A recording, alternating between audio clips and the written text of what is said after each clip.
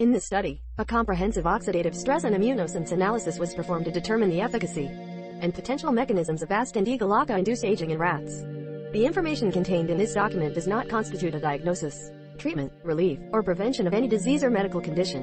It is recommended that you consult a licensed healthcare provider before starting any natural, integrative, or routine treatment. However, the relationship to oxidative stress and immunity is not yet sufficiently understood. More than 500 pages with alternatives and information on natural medicine. This site is for information purposes only. If not, click here to become a member.